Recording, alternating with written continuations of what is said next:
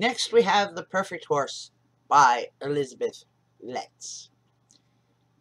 Very nice.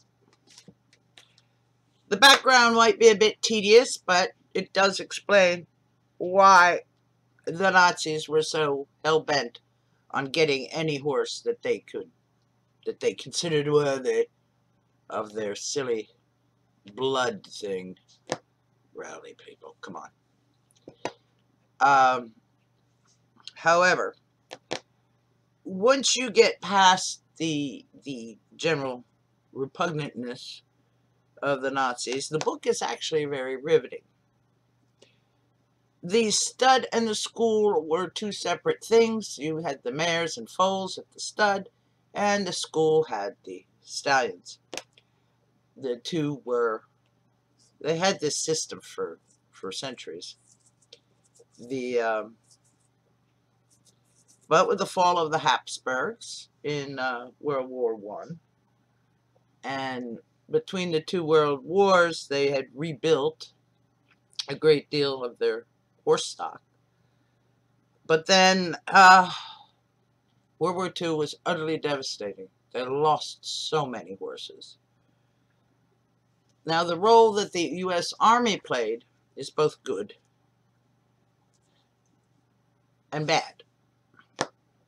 Yes, they rescued the horses, but once they had the horses, they didn't quite know what to do with them.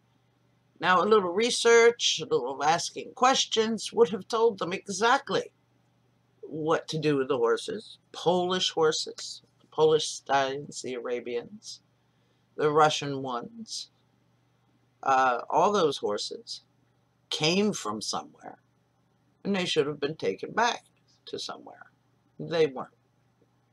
And some of them were sold off and just ignored once the army decided to disband their horses, their horse remount stations, and uh, sent them over to the Department of Agriculture, which of course had no use for horses, you know. Uh, being totally dedicated to becoming mechanized in all aspects of farming, only to find out farm horses don't compact the soil quite as bad as a tractor does. Or one of those multi-million dollar combines. Still, it was a very gallant thing to do in a very ugly war. For example, the stable at which the 2nd Cavalry of the of Patton's army went to get the mares and foals had a concentration camp nearby. And concentration camps were all over Poland. Not that the Poles had any choice.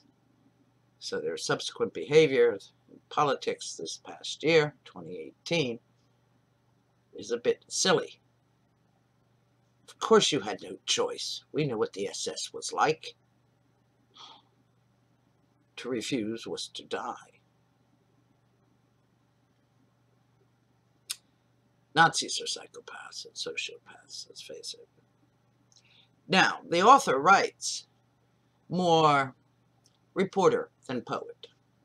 However, you do get the emotional content in the book because she must have had access to personal papers, diaries, mementos, and she must have spoken to some those that were still alive.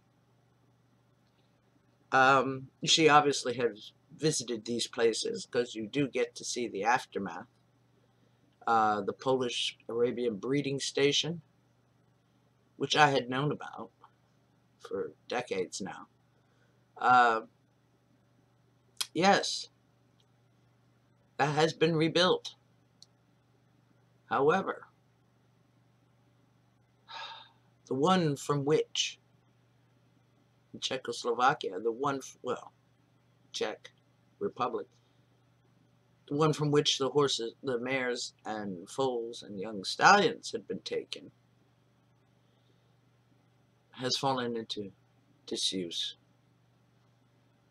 as has the local church but such as communism.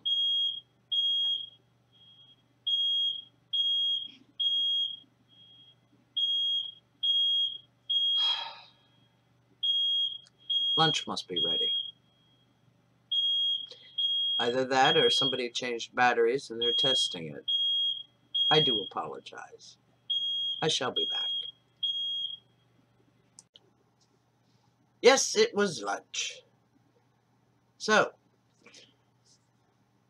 recommended if you come across this book, buy it. You might enjoy it more than even I did. Thank you for watching. I hope you'd enjoyed it. Please come again.